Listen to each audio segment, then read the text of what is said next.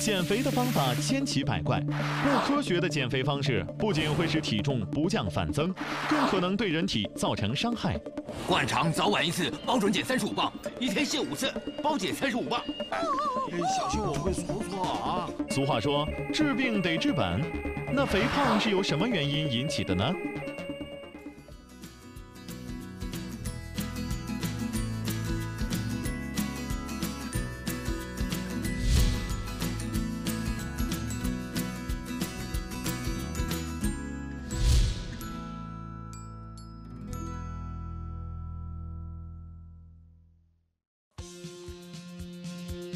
财富人生，健康至上。大家好，我是主持人今天。呃，今天现场呢，同样是请到了三位嘉宾哈，给大家介绍一下。首先第一位是我的好朋友啊，是著名的相声演员富强。你好，呃，欢迎欢迎。那左手边的这一位呢，是大家也都非常熟悉的营养师王斌。老师好。王斌，国家二级公共营养师，高级营养讲师，多家媒体专栏特约撰稿人。欢迎欢迎。那还有一位呢，是我们今天请到现场的健身教练，我们的任东东教练，欢迎您。金老师好。嗯，欢迎欢迎。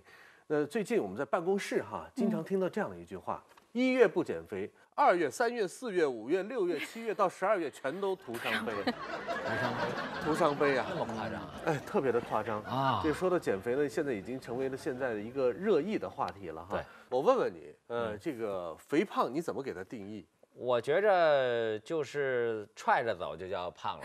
什么叫踹着？对，为什么踹着走？就是这已经胖的得踹着走。迈不动意思是他是纯球形要滚着走啊？这还没那么夸张。因为我有一兄弟就很胖，我们就老形容他，你看他又踹着走，就是踹着走道，滚着下楼梯，搬着上出租，这是我们给他定的三个定义。他有一个师弟，应该是叫万宇。万宇万老师，呃，万宇万老师，你知道他有多胖吗？你跟着冬天跟他住了一块儿，最起码暖和挡风，不是让他开玩笑。他的这个师弟，嗯，真的。您给肥胖做一个定义。肥胖我们就说呢，主要是他的什么脂肪细胞的体积和数量，嗯，它呢怎么样增大？另外它就质量也随之而然怎么样增多了，然后导致呢体身体里面怎么样？脂肪含量呢就占体重的占比呢已经超出了一个什么正常的水平。尤其是在局部地区，局部局部地区哦，外语不存在这种情况，它全部全部，它不是局部。我们有共识，对对对。有一次啊，我们俩还有万语在一块吃饭，嗯，那万语坐我边上就一直在劝我吃，嗯，对，呃，秦老师，那个这家包子不错啊，您来俩包子。我说不要不要不要不要，来来来来 来了之后，我说我真不吃，我吃你看呐，咔咔咔。然然后吃完了之后，他就说。秦老师，你知道这家馅儿饼不错，是这么回事吗？对对，来来来，我说真不要，要不了。哎，你看我们说了这么多，我们都认为就是最主要是吃会造成这肥胖的原因。嗯，您能具体帮我们分析一下吗？我想首先问问富强老师啊，您觉得会有哪些因素造成？我我认为就是吃，吃的吃是第一的，二一个是不不运动，不运动，超级不运动。而然后三一个，我觉得就是有一个特别不。按时就是生物钟特别紊乱，嗯，生活习惯不好，对，三个我认为就够了。对，基本上就是这些。另外呢，就是还和遗传关系，遗传有关系。对呀，基因的，我不知道他你的师弟，然后他父母或者是哎前老一辈呢有没有？我觉得很奇怪，他我见过他爸爸，他爸爸好像很正常，他爸爸就像我这样啊，不是，就 就是我的外语 就是我的胖瘦，我的胖瘦，嗯啊，但是他基本看起来。是吧？实际上他这个遗传因素也占有蛮大的。另外呢，就是因为我刚才说了嘛，因为他的这个怎么样，脂肪细胞它的体积啊质量会增加，会导致那这个体积增加。一般在人的这一生当中，一般就在三个阶段。第一个呢是在胎儿期，所以说现在孕妈妈呀，一定在孕期呢，就是一是为了自己生产完以后能快速恢复身材。另外呢，就是不让胎宝宝长太大了，因为在胎儿期的时候，脂肪的细胞数量会增加的多的话，今后一生呢，您可能就伴随着比别的孩子吃的一样多，您就比他容易胖。啊，这基础一定要打好。对，胎儿期。另外，就有时候实际上我们现在更愿意把它说成什么幼儿期，实际上婴儿期是指多少？零到十二个月。我们更愿意说一到三岁的，也就是幼儿期的这个阶段的孩子。如果您这个时候让宝宝太胖，看，哎呦，这胖小子太可爱了。如果是这种情况的话，宝宝可能怎么样？今后也可能是个小。胖子了，嗯，另外还有一个期呢，就是你是什么青少年期，青少年青春期，哎，我蒙对一个最起码，对青春期。然后这这几个时期，如果您都是超出正常的一个标准的话，那您今后就就是说是您减肥就是比较困难，就是常说的喝凉水也长胖，因为你脂肪细胞的数量它不会减少了，它体积可能缩小，就说哎我可能少吃脂肪可能有看减小，但减小的只是什么质量，它的数量呢不会减少，一生就伴随你这么多了。哎呀，说实话，我这个身材呢，相对来说也是属于微胖型。哎，您还可以，您太低调了，不不不，这一点都不。低调，这有一句说一句哈。但是这个确实通过这个王明老师这样讲解，我们明白了哈。对，原来我这样的肥胖是因为我父母原来在我小的时候太爱我了，对一天到晚给我喂吃的呀。啊，那时候小的时候都喜欢什么？说这小胖子多好玩啊啊，要对偶解手，胖嘟嘟。嗯，对，过来捏一捏手指。对对对不，行，你看，害得我们现在就要减肥。哎，说到减肥，方法有各种各样。接下来我们做了一个这个总结，大家一起来了解一下。减肥 TOP 排行榜，第四名，喝鼻炎药水儿，可行性五，自残指数两颗星。第三名，催吐，典型满足味蕾的方法，自残指数四颗星。第二名，抽脂，将局部堆积的脂肪组织吸出，自残指数五颗星。第一名，割胃，切除了大部分胃以后，可以减少食欲，自残指数五颗星。片子看完了啊，这么多的方法当中，如果让您挑选那个减肥的方法，你会选择？我我如果一定要减肥，就不得已而为之，我顶多就用着控制饮食，就少吃。我个人觉得少吃呗。没有，刚刚的刚刚片子里的并并没有控制饮食，我再给你念一遍啊。这方法有喝鼻炎水、抠吐、呃切胃、抽脂。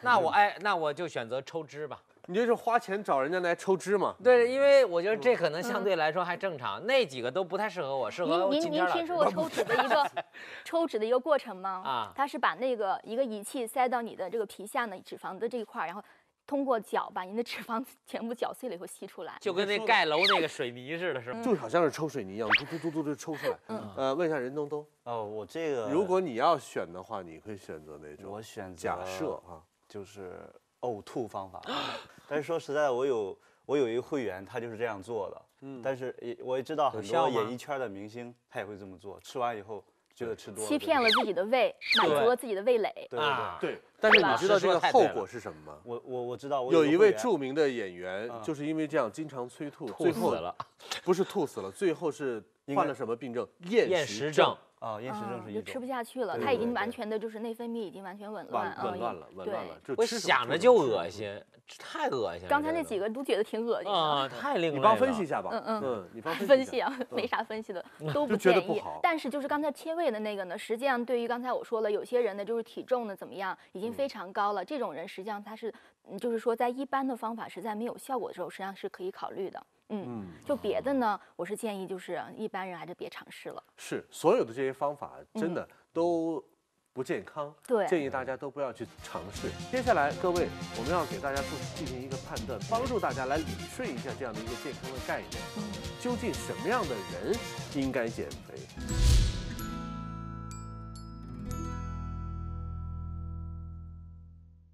说到这个减肥呢，现在我们没有办法规避，嗯因为在各大办公室，大家都在讨论这样的一个话题。对无论是胖的还是瘦的，嗯都是在减肥。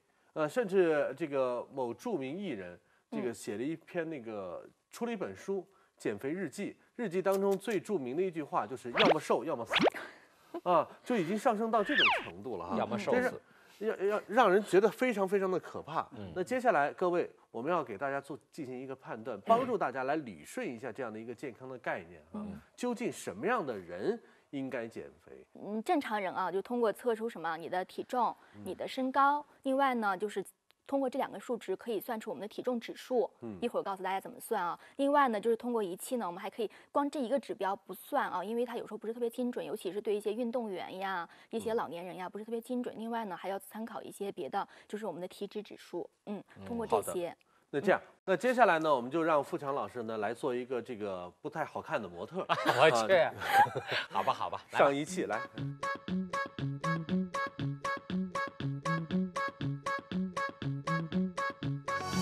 现在呢，我们在现场哈已经做完了测试了。嗯，刚刚的数值是多少？他付强老师的呢体重是七十二公斤，嗯嗯他的体脂呢是百分之二十二，嗯，这说明了什么问题？付强老师是正常的。哎呀，太好了，鼓掌！嗯，必须得鼓掌。蹭坏了吧？哎呀，我太嗯太欣慰了。男性啊，只要在他的体脂在百分之二十五下呢，都是正常的；女性是在百分之三十，女性她脂肪呢会含量会高一些。哦，那通过这样两个数值的这个体现，那说明他就不用减肥了。呃，基本上通过就是刚才体脂这块呢，付强老师是在标准范围，但是我这时候呢还需要算一下他的 BMI，就是他的什么体重指数。首先呢，我需要你知道两个数值，第一个数值呢是你的体重公斤数啊，单位是公斤。另外呢，需要知道您的身高，身高呢单位是米。有这两个数呢，大家可以把手机拿出来跟我，或者您家有计算器呢拿出来跟我一块儿算一下啊。就首先怎么算呢？把您的体重是七十二公斤，小强老师72七十二嗯除以呢他的身高是一米七，一米七除一点七，然后呢再除一个一点七。啊，除两个身高，对了，然后这样算出了呢，我猜一下，富强老师他不会四十二吧？嗯 公布一下，二十四点九。哎呦我去，真哦对高了！，正常的范围我给也是给大家说一下，我们正常范围呢应该是在十八点五呢到二十三点九之间，就可以等于二十三。你高出了一点多，一点多，一哎哦一一到因为是二十二十四点九几几几嘛。哎呀啊，对我主要我觉得还是肚子，就是能直接能看到嘛，吧？对，所以我们呢就是评测一个人是否肥胖呢，实际上嗯一个标准不可以，就是我们说体重指数一个不可以。有时候呢，就是有些女性啊，你看着她好像就是不太胖，但你一算呢，嗯，也胖了对，然后就 对，然后另外呢就是什么，我们还要看你的什么体脂含量，啊这些呢有时候弄用全部都出来以后，实际上我们愿意还参考一个什么腰围，嗯，或者是腰臀比这样的一些我刚才腰围多少来着？九十。十九十是正常范围，男性在一百零二以下呢都是正常范围。哦，太好了！肥胖对身体会造成什么样的危害？三高听过吗？三高：高血压、高血脂、呃高血糖。对这种慢性病呢，就会随着你的什么肥胖的风险嗯怎么样，增你患患病的风险就会增加。嗯，哦另外呢，就是什么？你想你体重比较重，比如说您的那个师弟，嗯他的骨骼压力会承受的比较多的嗯重量。对嗯，这样呢会怎么样？会嗯造成他的一个骨骼的这些问题，嗯，关节炎呀这些可能都会发生。另外呢，还有就是心理方面啊，心理方我就不拿成人来说，我就拿孩子来举个例子。以前呢，然后幼儿园有小朋友啊，嗯，比较胖。对比较胖，这个小胖实际上小胖子就儿，对，然后实际上就是老人看着呢是特可爱，是吧？但是呢，他们班小朋友呢就叫他小胖胖墩儿，就这样叫，你知道对吧？但孩子呢，你别看他小四岁这样子，但是实际上他是懂的，他一般就很少跟别人交流呀，这样实际上这一定程度呢对他心理上的有一。些自卑。对，而且这孩子上体育课不去的，为什么不去？因为他的运动协调能力都不太好。大家看到哈，现在在我们面前摆了很多种的这样的一个这个减肥产品的图片，嗯，你可以自己来选，选择我我哪种？我来看看看，我我给大家展示，瘦身瘦贴，身贴，瘦身贴，嗯我觉得不太靠谱吧？嗯，我要我我不选。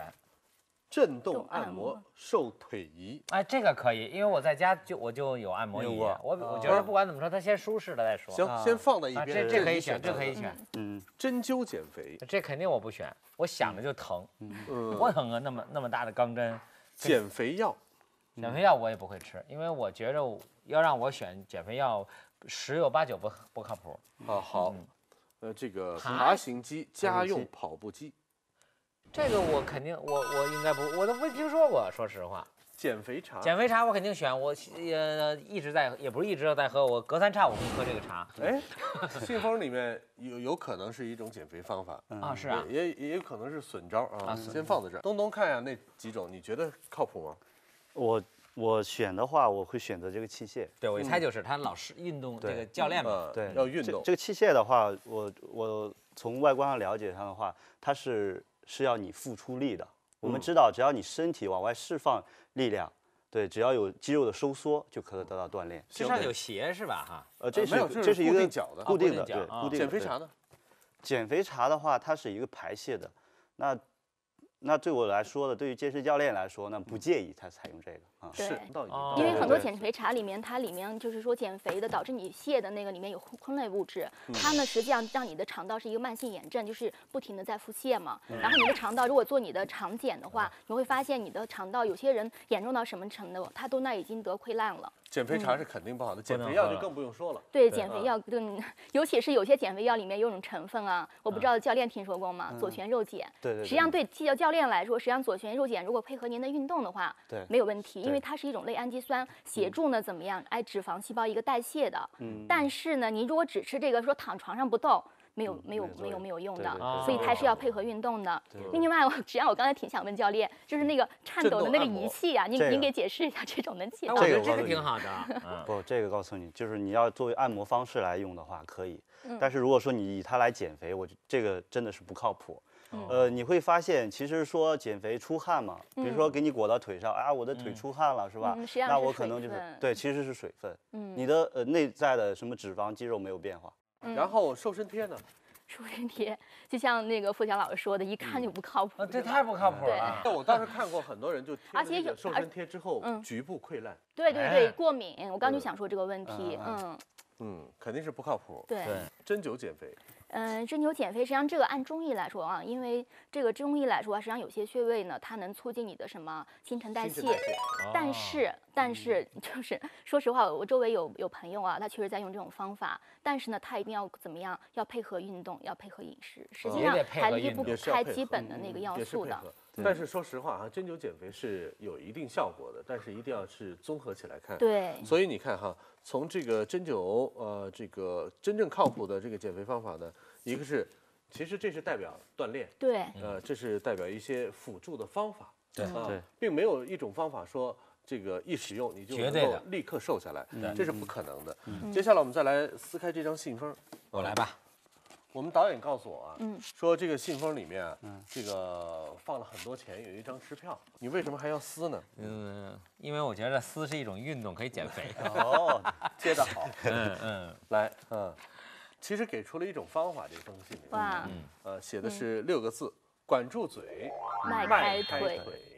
这我就是我和东东结合起来的。哦，哦哦，现在啊，富强，你来选择一下准备的这些食材，当然这个肉还是有的哈，嗯这个我们就不摆出来了，嗯，好吧，你来选吧。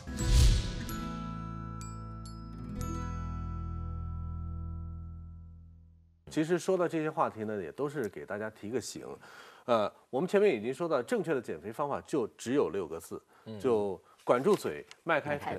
咱们还是一个一个来说，嗯先说管住嘴，这总不能，你就是再为了减肥，你总不能不吃吧？我现在我个人就说我个人的真实生活，我每天晚上会把一锅那个小米粥泡好了定时，嗯，让他第二天早上起来我起床的时候刚好那粥熟了。你这样吧，这这说你这说的呀，我这听得云里雾里的。我们啊这现场不是准备了一些东西吗？啊让你来做一个选择。现在，呃，富强，你哎来选择一下准备的这些食材。当然，这个肉还是有的哈啊，是这个我们就不摆出来了。嗯好吧，嗯，你来选吧。呃，晚餐、中餐、早餐这是如何早餐嘛搭配？对，很很正常嘛，要让我选哈。嗯王老师您看我选对不对？早餐肯定要有牛牛奶，牛奶，肯定要有五谷杂粮，对，嗯，肯定要有燕麦麦片，这是我的早餐。吃的还挺全乎。丰盛黄啊，对，还有一个还要一个鸡蛋鸡来一起蛋是必拿过去吧这是这是早餐，我现在早餐就是目前我真实生活就这四种，嗯，啊，还好，可以吧？中餐中餐呢？中餐肯定要有有这个碳水化合物啦，对然后可以有一好专业点蔬菜，菜有一点菜，嗯然后菜吧，对菜，嗯，其实我菜如果要让，因为你现在只有这个嘛，我晚餐选择这两样。那您来分析一下，他这个挑选的对吗？嗯，基本来看搭配呢还可以。你看看然后实际上我知道富强老师是什么意思啊？他意思有五谷呢，然后里面掺再掺燕麦，是煮成一个一个粥粥粥粥是吧？对对对对对对然后是这样搭配 OK 没问题。嗯实际上要是我选择呢，我可能会燕麦牛奶熬一个粥。嗯啊嗯，然后这个呢我可能会放到晚上。嗯哎，我加一个问题，王老师，嗯我早上起来现在一直是吃蛋，只吃蛋清不吃蛋黄，这对吗？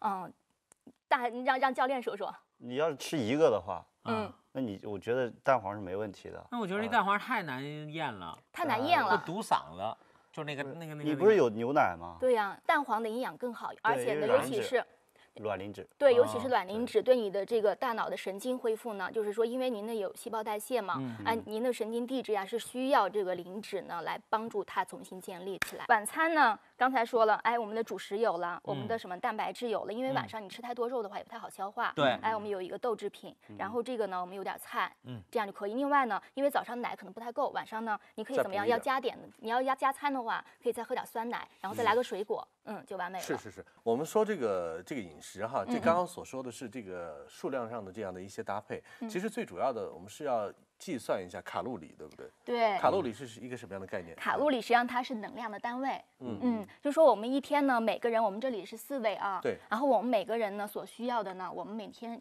所需要就需要的能量都是不一样的，根据运动量呀、你的基础代谢呀、你的身高体重等等这些数值，就基本来说，平均来说，就不管男性女性，你要是不动就躺那儿不动的话，一般可能需要一千四这样的。就一千四是一个基本的这样的一个消耗嘛？对。但是我们稍微吃点东西的话，应该就是远远的超过我们要消耗的这样的一个这个卡路里。但是这超过了吃多了怎么办呢？我们就要通过运动，运动，嗯，对对吧？嗯，对。那我们其实生活当中呢，呃，你在走路上班啊，或者你做家务啊，都会有消耗，是吧？嗯对，比如说你在家里做一个小时的家务，拖拖地啊，洗洗碗啊，下来大概也有三百卡，嗯对，也消耗，对，呃，那你三百卡的话，那你加上基础代谢的话，一天下来可能有两千两千卡的一个消耗，是吧？两千卡的消耗，但是其实那你饮食上，其实你稍微多吃点。一天三顿饭加起来三四千卡，跟玩似的就进去了。哇，对，而且现在网络是很方便的。对对对，呃，网络上有很多的这个数值，就比如说你吃的任何东西，吃的量是多少，然后种类是多少，你想去查它多少卡路里，都查得到。你可以其实自己给自己做一张这个健康这样的一个一个表格。对对，你要看今天我吃的这个。多少卡路里，基本算一个大概的数值。嗯，算了之后呢，接下来各位你们就要锻炼身体哈，要把这个自己吃进去的这些卡路里完全的消耗掉。那我接下来哈，嗯，我们请东东在现场呢教我们几个动作。对对对。呃，让我们来锻炼一下上菜消耗自己的这个卡路里。啊。但是这个动作呢，希望不要太大啊。啊，因为。大部分在电视机前观看我们节目的呢，都是公司白领，最好是能在办公室啊，就能够动起来，呃，消耗自己的卡路里的，好不好？好的，好的，把我的那个很方便的一个道具。纸菜盘拿上来，好了，各位，我们现在是已经准备好了哈。嗯，我给大家简单介绍一下，这是一个纸盘，就是我们简单的一个盘子，就是在上菜用的吧？对，上菜用的，对。啊，这怎么锻炼呢？来来来，一人两个，一人一个。我给大家示范一下，来，首先我们顺着这个两个脚的这个平行线往后蹬，对，往后蹬，右腿往后蹬，对，然后收回，再次往后蹬，控制控制啊，感受一下你的屁股有没有受力。有有，如果你蹲的不够深，那你的大腿前束会有感觉。我们如果你蹲的够深，你的臀大肌会有感觉。教练，我们能收回来再聊吗？收回，然后我们向向哪一向右侧？右侧。对，蹬出。对，还是一样加摆臂，收回。然后我们往哪呢？下一个动作我们是交叉。对，往你的左交叉。我有加一个手臂的动作。对，兰花指吗，教练？可以，你可以，没问题。下一个动作就是往前了吧，是吧？嗯。当然，你的中心在你的后腿上，好，身体中心往后，然后手可以往前伸，然后收回。记住这个动作，且不要刺激到，就是你的膝盖不要超过你的前脚尖。好的。对。钱老师，手往前伸，你保持点形象行吗？齐天老师。往前伸出，收回。往前伸。这有点太极的意思。收回。往前伸，伸出，收回。哎呦，出汗了，真出汗了，真出汗了。收回。我也一身的汗。对。这比桑拿出的快。其实王斌老师刚刚很羡慕哈，嗯，呃，今天的这个我回去一定要不太合适，但是回家可以多练练。对对对对对。好，再次感谢各位来到我们的节目当中，咱们下一期再见，再见，再见。很好，这个您还收回去吧，东东，收回去。哎呀，要不然你带走吧。呃不不不，不要了。